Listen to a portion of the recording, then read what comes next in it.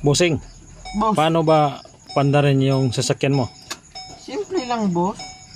May technique lang dyan boss. Pero, secret lang natin to boss.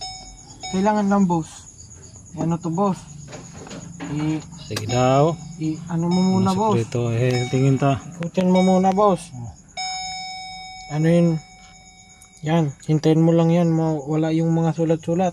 Na, may sulat-sulat pa pala. Katapos, i-full, full press mo ang clutch boss.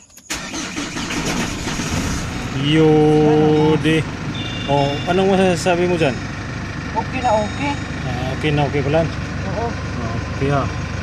Hindi mo basta-basta. Sa ba ng mga TV diyan kag may boss? Oh, da may dako eh, TV sa boss, wal boss oh. Oh. Oo. Okay.